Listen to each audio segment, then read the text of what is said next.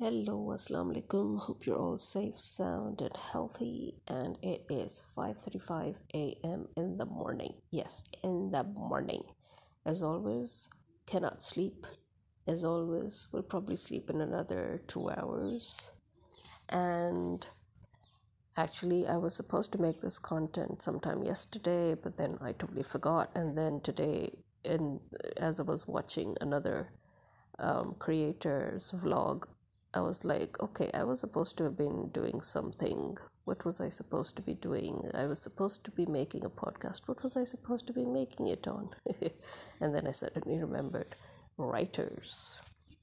Yeah, AI and writing. And oh, don't mind the voice because, yeah, this is how it's been for the past, how do I say now, five days. Today will be the sixth the f- common cold or the flu or whatever you like to call it is what I have contracted. And I have a sneaky suspicion that it is probably the flu or the cold that I had managed to suppress uh, a little over a month or two earlier. And it just suddenly decided to come out on the day of Eid. Like the very last day of Ramzan, I after iftari, I felt it coming and I thought that it might still be under control because I usually control them bef- uh, these viruses before they start.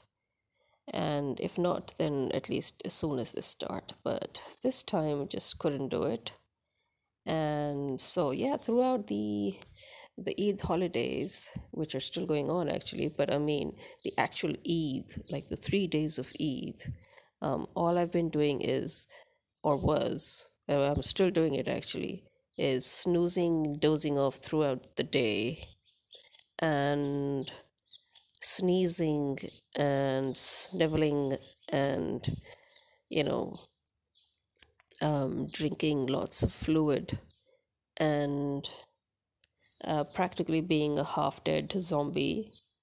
So, yeah, this is how my days have been. And uh, confining myself to my room, which is actually pretty normal, but even more than than normal. um, I did not meet a single guest, um, and this time we actually had a lot of guests just come in um, the throughout Eid, especially the first day and then um, we were invited so again i didn't go uh, so my parents went and i stayed home because seriously who would want to go out in this condition in in this state? Um, eh, you're pretty um, peed off as it is you know. Eh, you wouldn't want to go and mingle with people you know. It's too stressful. Anyway. So this has been my Eid pretty much, and it's ongoing. But I'm hoping, I'm hoping it had better complete its cycle and get out of my system in the next two days. Otherwise, I'm really going to go wild because seriously, this is not one of those common colds that I like. This is more the flu type, which I hate. Okay, this is did I say like? Seriously? I shouldn't have said liked. It's like more like I don't mind because I can control. Sorry. Yeah, so you see, in this case, what happens is that my nasal passages get blocked, my sinuses get blocked, and I keep tearing off on one eye, sometimes both eyes. And then, you know, everything seems so clogged. And then I try to get all the phlegm out. It's a vicious cycle and there's a lot of phlegm as in once i start uh well anyway you know what i'm trying to say. So yeah hence the voice.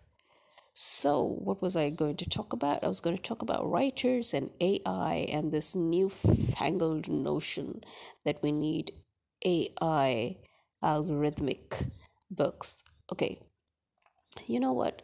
As it is we already have lesser number of readers than we had decades ago. And one of the reasons I would say is probably, you know, the lack of original writing as it is. At least that's my opinion. I feel that um, it defeats the purpose. I understand and I truly, truly, truly think that it's okay if writers feel that they they need to produce content that you know that can sell. I get it, and it's important, and I'm fine with it. But but originally, originally, the whole point of any content creation, um, from writing to all the other media that came after, was entertainment, infotainment with originality. Okay, producing something, creating something. Now we call it creating for a reason. You're creating something so that it can inspire, educate, and entertain, right? So I know nothing is original under the sun. Every idea has been explored. That's fine, but originality still can be maintained. I understand and like the idea of fan fiction, um, especially when I realized that I actually did it when uh, there was when nobody even had the concept of fan fiction, if you know what I mean you know, when we were kids. When we were kids and we used to read our favorite books and then we would make up new stories using those same characters. So that is how fan fiction was born. So again, I have nothing against fan fiction, come to think of it. But I do I do believe that if we bring AI into the mix and produce I mean we've already produced enough music um, you know, based on algorithms, which is essentially, again, a product of AI. And yes, okay, they're very successful, but seriously, how many of us have really, really listened to these songs? Anyone? The lyrics, the words? Anyone? When was the last time when you actually listened to a song, understood the lyrics, and loved it? and loved the message that was in that song, loved the words, the poetry. When was the last time? Yeah. So you see where I'm coming from? Music has always been experimental throughout. The the whole essence of music is experimentation. And it's okay again if you want to add a bit of algorithmic um, you know potential into the music field. You want to throw it into you know you want to bring in ai and and utilize it. It's fine. Everything is fine. But again the whole notion of original creation or of creation in itself um, i think it tends to get destroyed. So again we are already moaning um, about how readership has become less and we like to blame multimedia for that. We like to blame you know uh, tv and then we're blaming now social media and then we'll blame god knows what you know. But it's wrong because i think i feel that um, these all these media complement each other. Books when they're loved so much they get adapted into visuals so you can actually see what you were imagining in your mind all this time you know it's like a reproduction of you know of whatever it is that the book is trying to um the images you know the world that the book is is trying to put into your mind so it's i have no problems and i don't even see why anybody should have a problem with uh, you know, adaptations of novels and stuff. It's fine again. To a very, very limited extent, again, I would understand using AI for writing books, but again, it defeats the purpose. Um, writers write. Okay, we write for a reason.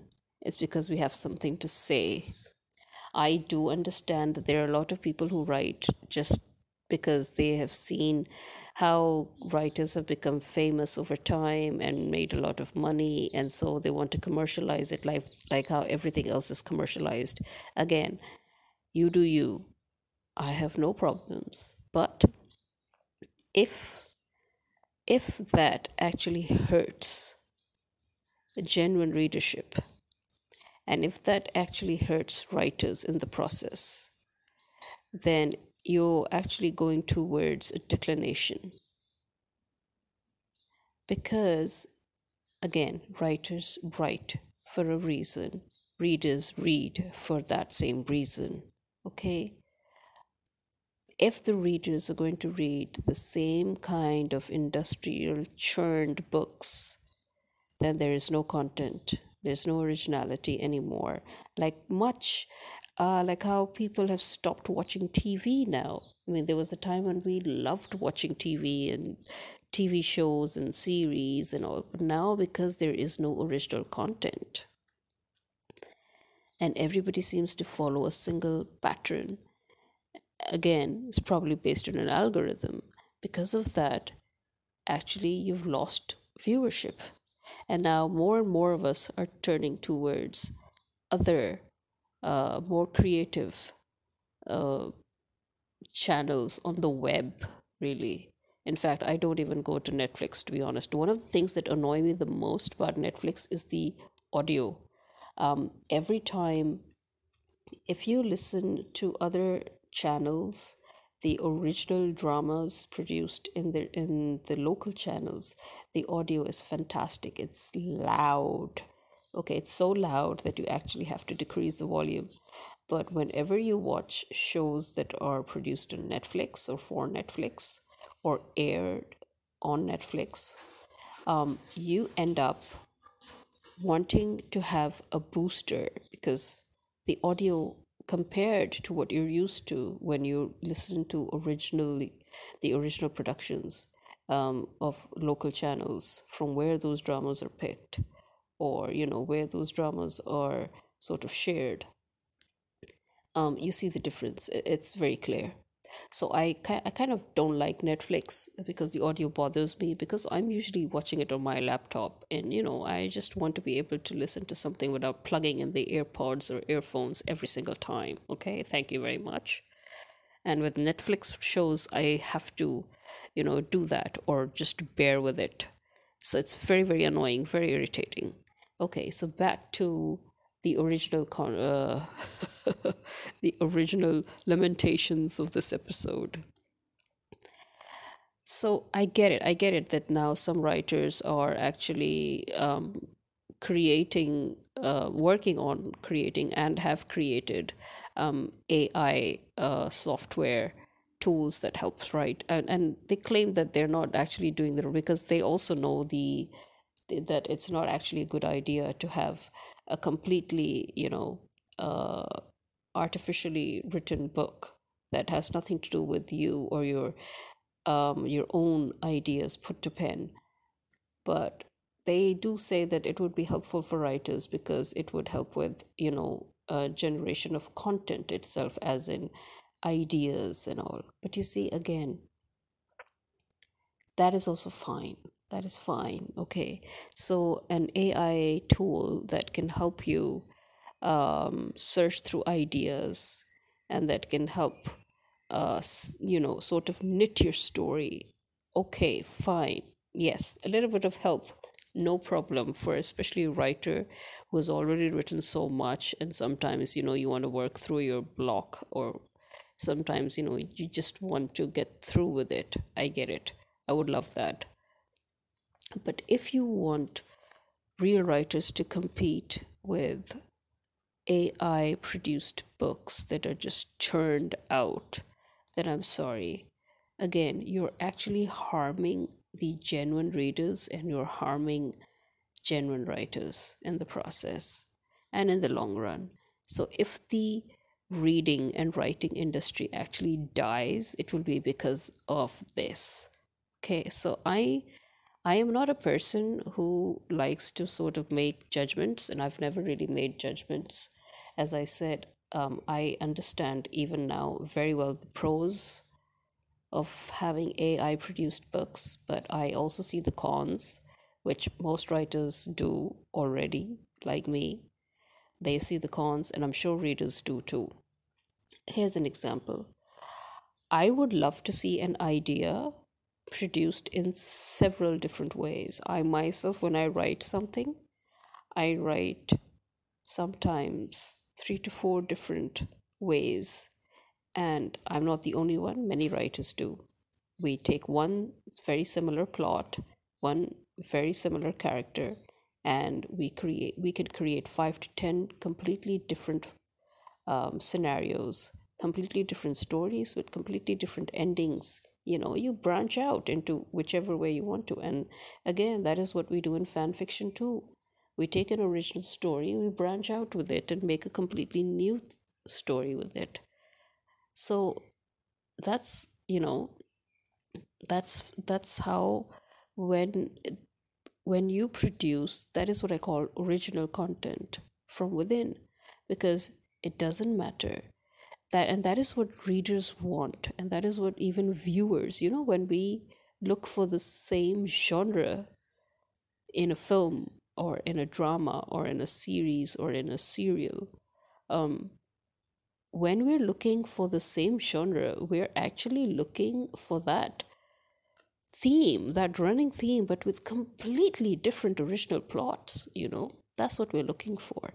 We're not looking for the same kind of you know generic you know the same kind of generic plot running through over and over again. For example if you love harry potter you want a world similar to harry potter's.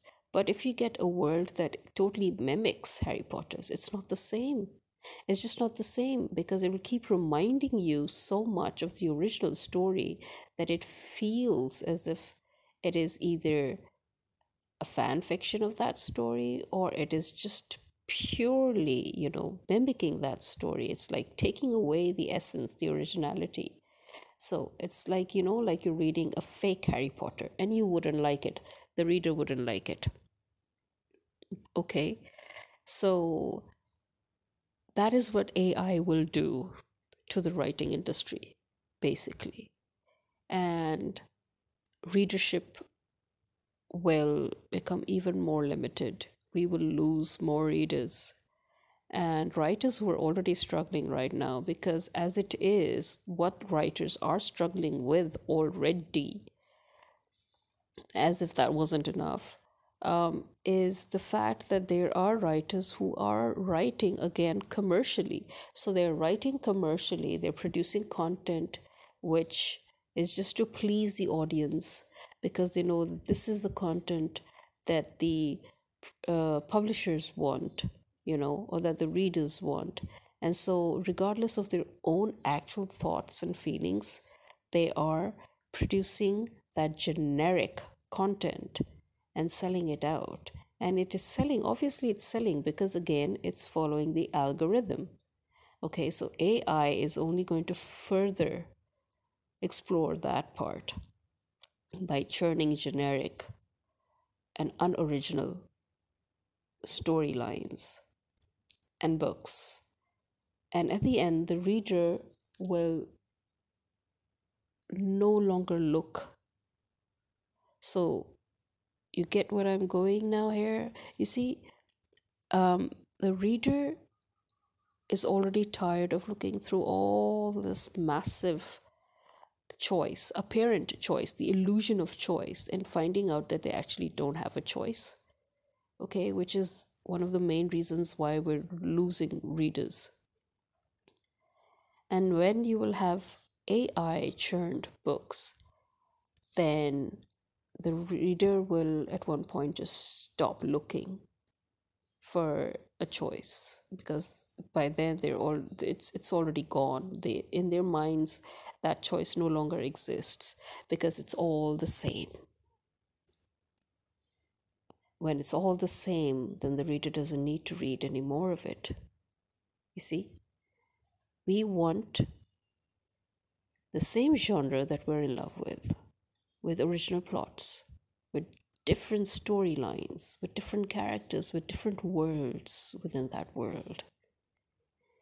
And when you will give them the same thing over and over and over again, so you may count for example the, the, for example that there are over 20000 books of the same theme or of the same genre but actually the those 20000 books all have the same story you know it's like reading the same story over and over again with just very very slight variations then you don't have 20000 books you just have one book with 20,000 weird copies that you need to sift through. And who wants to sift through?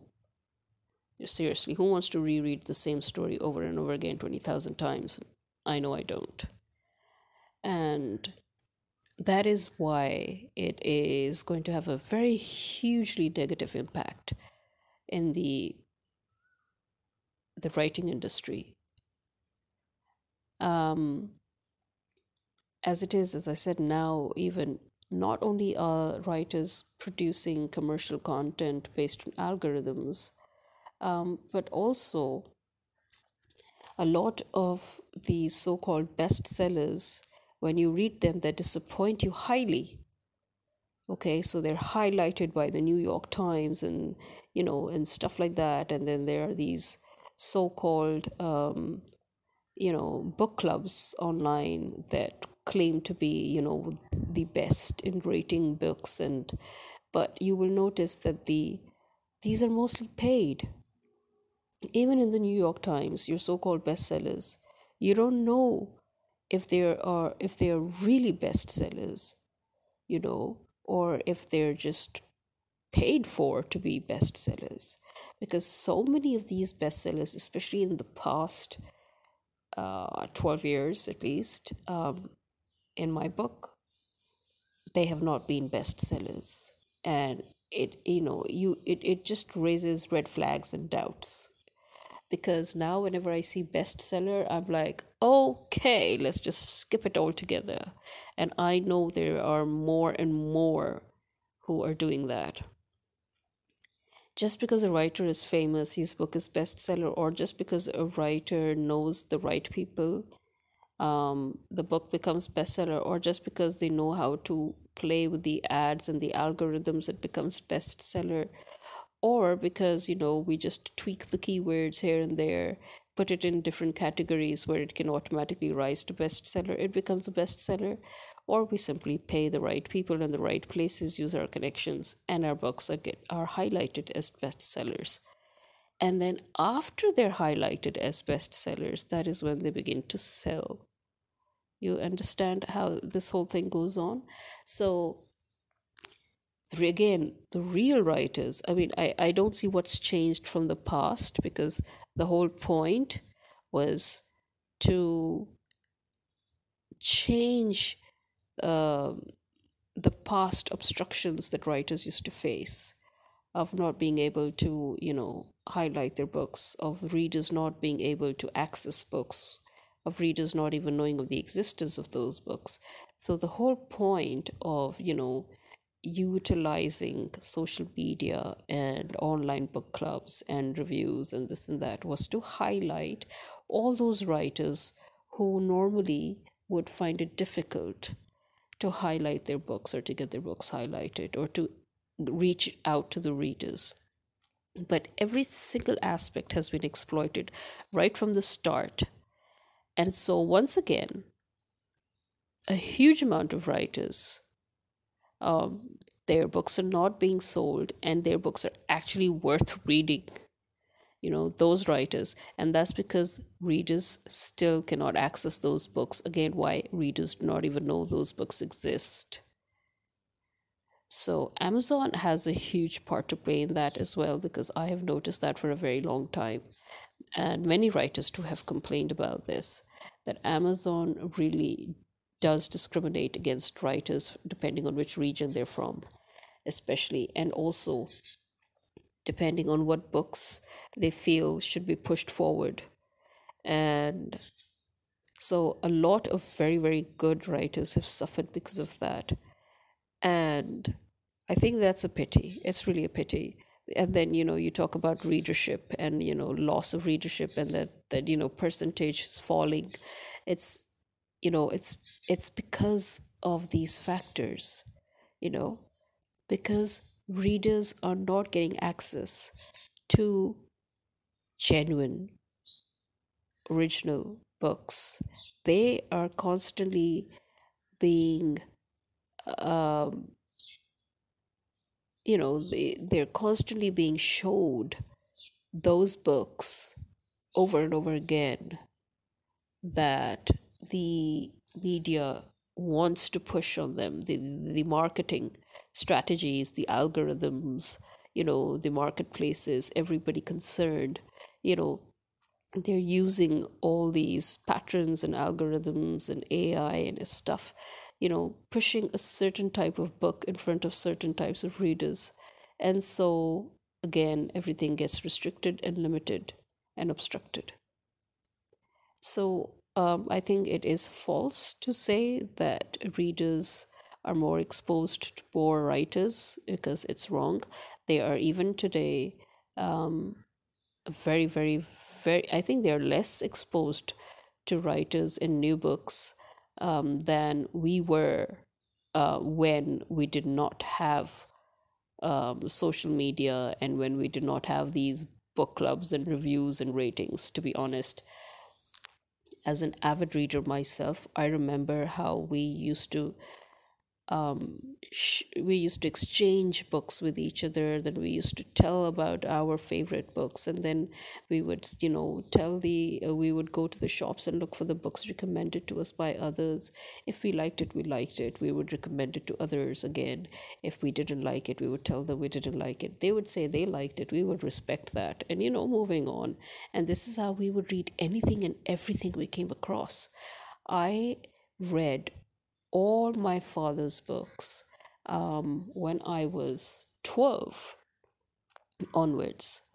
I read all his, uh, you know, uh, they were pretty heavy books. Um, they were on all the isms, you know, the socialism, communism, Leninism, Leninism, and on Stalin and on Lenin and on their uh, philosophies and their ideas. And then there was Chekhov, and then there was, you know, um, I read Metamorphosis even at that time. I remember, God knows, all the Russian, the German, the you know, because that that was that was our parents' generation when they had these books, you know, and so we had access to these books. We read all these books, you know. Then we already had our own Enid Blytons and we had our Agatha Christie's and we had our Sherlock Holmes and stuff. But, you know, we would access, I would access even my mother's books, which were on comparative religion, for example, or they were on, you know, reincarnation or on, you know, or romance novels. She had a huge collection of those as well. So, you know, you, when you get access to books you just read them all. Anything and everything that comes your way you just read them you know? And this is what basically to us when we say we we were avid readers this is to be honest this is what we mean. To me when somebody says i'm an avid reader i think oh so this is a person who just reads anything and everything that comes their way. That is what we used to call avid readers you know? So we would literally read anything and everything, you know, that came our way. If you look at my bookshelves right now, you would see that they are filled uh, with, you know, fiction and nonfiction. And in fiction, even they're filled with a variety of books, and all in the genres of uh, from classic literature to uh, modern literature to you know thrillers and mysteries and suspense to romance. And you know it's a huge variety that moves on. And i never once remembered that uh, i would restrict myself to just one writer or one book. Whenever we would go to the bookshop you know the bookshop uh, would be filled to the roof with stacks and stacks of books and even the shopkeeper because he you know he was an avid reader himself he would tell us oh we've got this now and we've got this now and we've got this now and this is really popular now. And oh somebody just left a whole huge stack of old books as well. So it was an old and new bookshop. And we would rush always to the old books the secondhand books you know. Again that's what avid readers do. Avid readers would always rush for the secondhand books okay and we would get the whole collection if we could. You know there were people who would sell off collections complete collections complete sets of you know Nancy Drew for example or Franklin W. Dixon or the Hitchcock and and we would get all all of them whatever we could get our hands on. We would read it all and we would enjoy it. And then we our friends were avid readers and then as i said before we would exchange books with them and we were always so respectful to always return each other's books after reading and the in mint condition. We respected books. We still respect books. And and so to us actually to us avid readers it doesn't matter if we can read paperback or you know uh ebook as long as we're reading you know so yeah no there is no fault with the readers themselves the fault lies in the industry producing the content if you no longer allow the readers to access books of their own free will without pushing what you want towards them, uh, then I'm sorry, but yeah, you're not going to cut it. It's just not going to do. As writers, our job is to write. Readers they have the right to access whatever it is that they're looking for. I thought that is what freedom was all about. So there it is. Um, I don't know how in a, in how much better way to explain it right now, but I think I've got the message through, and I think there are many of you who have the same concerns. You share the same concerns. I know that, especially writers, I know, but I'm sure even readers, genuine readers, I always call them genuine readers because there is a difference again between readers who read for certain reasons and genuine readers who read because of the pleasure it gives them. And those are avid readers, the genuine ones. And genuine writers and genuine readers both are aware of the fact that we kind of don't like to put reviews on, you know, anywhere really. And although we beg our readers to put their reviews up because it helps us, because again, the marketing, the, you know, the social media, Amazon, you know, they they have forced this culture but again, genuine readers really don't post reviews. Again, as a reader myself, I wouldn't post reviews because we all are very, very aware of the fact that what we like or dislike um, is personal to us and we cannot dictate it because, again, if there's something that we don't like but some other readers may enjoy and we wouldn't want to put a damper on it and say oh you know what? This book is a waste of time. And so nobody else would buy it you know why? Um there we are all very very aware of the fact that there are so many books that you know so many readers have controversial views about or contradictory views about and you know but that again that is what we don't um, the concept that you should write for a universal audience again i understand for commercial purposes but when you come down to the pure art and craft of this industry then that is not what it is about. It's not about catering to the universal readership. Or it's not about that. Writers write uh, for a certain type, a certain group of readers, you know, and we all know that. And that is where then suddenly, you know, again, the marketing uh, algorithms come up with, you know, targeting you know, targeting your readership and targeting your viewership. Yeah, we all are aware of that. Thank you very much. We all know that we have a targeted readership or a certain specific group of readers that we're targeting. But again, the point is instead of making us target them, why don't you just let those readers have full access to all the books instead of shoving up certain books against their faces because that has the most amount of money paid into it for its ad campaign? You know, why even? Um, what happened to readers having full access to all the books of the genre that they're interested in? As a reader, one of the things that I feel most restricted about is when I cannot find a huge variety and I only find a list of certain books pushed up, you know, to me saying, oh, buy this, buy this, because you like this, we recommend this. Okay, fine, go ahead with that, but give me access to the other ones too. Give me access to the other books too.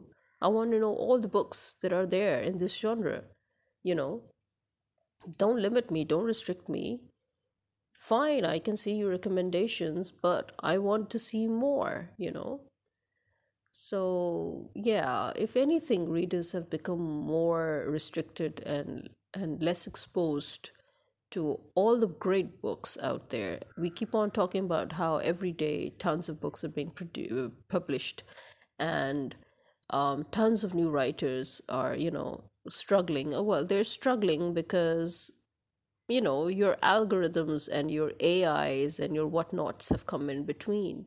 Instead of helping them it has only hindered them it has hindered both the readers and the writers and that is why this industry is going towards kind of a, a, a failure to be honest um, especially if it's all going to be you know AI generated material, and readership will be definitely, uh, it will fall.